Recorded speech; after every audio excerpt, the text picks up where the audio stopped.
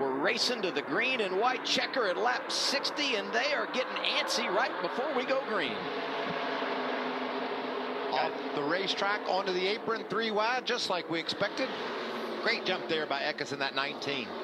Guys, I think we saw something that we're I think we're going to see all night. The top really didn't fire off through the restart. I, have never seemed to figure it out, and uh, that's going to be a battle what we deal with all day. Look at Sanchez going right up the middle, outside of Mozak.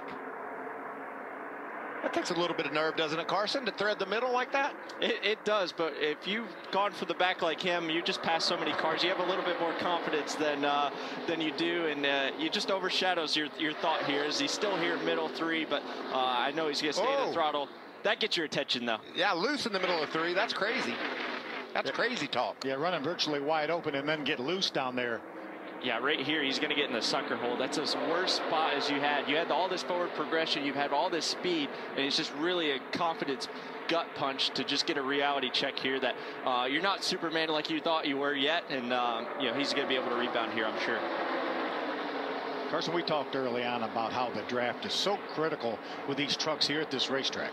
Yeah, it's huge. Um, you, you you can get past it, it, It's one thing to pass, it's another thing, uh, or it's one thing to catch, it's another thing to pass. But here, you could get such a big run.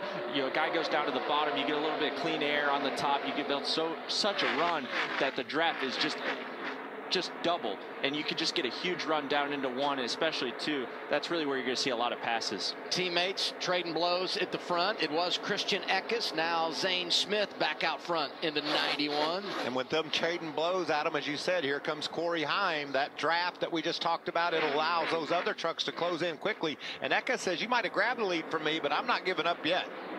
He's going to duck back in behind the 91 to catch that little bit of draft.